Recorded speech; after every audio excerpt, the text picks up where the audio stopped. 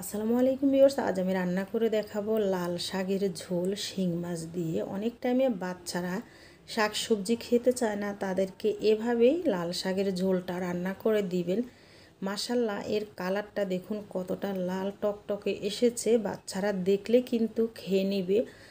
আমার আম্মা কিন্তু এভাবে লাল শাকটা রান্না করে আমাদেরকে খাওয়াতো, কারণ লাল শাকের ঝোলের ভিতরে অনেক ভিটামিন এটি।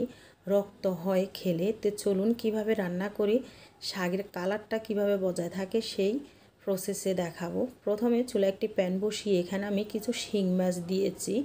স্বাদ মতো লবণ, তবে লবণের পরিমাণটা অল্প দিবেন, শাকটা কিন্তু কমে আসবে। সামান্য একটু হলুদ গুঁড়া আর একটু দেখুন তেল এখানে দিয়ে দিলাম। পেঁয়াজ একটা দিয়ে দিলাম আর দিয়ে দিব এখানে আস্ত কিছু কাঁচামরিচ। এখানে আমি গরম পানি দিয়ে দিচ্ছি। দেখুন, বেশি না আপনাদের শাক অনুপাতে, তবে বেশি ঝোল লাগবে না। কিছু কাঁচামরিচ আমি একটু আস্ত দিব আর তিন থেকে চারটে একটু ভেঙে দিব। বেশি ভেঙে দিব না, তাহলে বেশি ঝাল বেরিয়ে যাবে।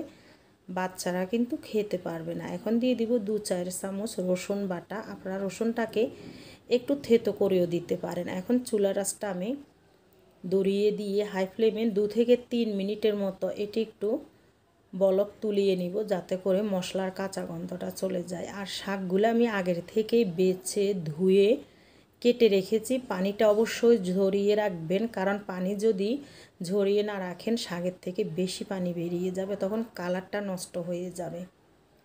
এখন আমি শাকটা তো দিয়ে দিয়েছি, ঢাকনা দিয়ে হাই ফ্লেমে রেখে দিয়েছিলাম। যখন শাকটা একটু কমে এসেছে, তখন আমি নেড়ে চেড়ে দিয়েছি আর কালারটা দেখুন এখনও কত সুন্দর। আবার আমি ঢাকনা দিয়ে তিন মিনিটের মতো রান্না করব, এর বেশি না।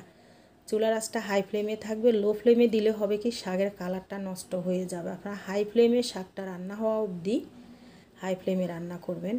আর আমি এর মাঝে কিন্তু একটি রসুনকে থেতো করে দিয়ে দিয়েছি। রান্নাটা আমার কমপ্লিট হয়ে গিয়েছে, চুলাটা অফ করে দিয়েছি। আপনারা কিন্তু এই পর্যায়ে লবণটা চেক করে নেবেন। আর মাসাল্লা এর কালারটা দেখুন।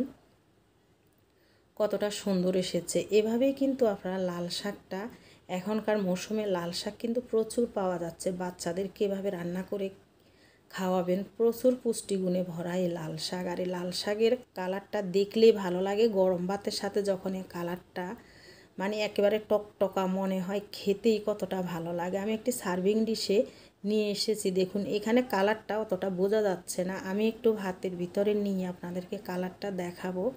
এই যে দেখুন মাসাল্লা কতটা সুন্দর এসেছে। আর শাগের কালারটা দেখুন সাইটে যে শাগের ঝোলটা, কোনো পরিবর্তন হয় ভিউয়ার্স, ইউটিউব চ্যানেল থেকে যদি ভিডিওটি দেখে থাকেন, চ্যানেলটি অবশ্যই সাবস্ক্রাইব করে দিবেন। আর ফেসবুক পেজ থেকে যদি দেখে থাকেন, লাইক বা ফলো দিয়ে দিবেন। দেখা হবে পরবর্তী ভিডিওতে। ভালো থাকবেন, সুস্থ থাকবেন। আল্লাহ হাফিজ। আসসালাম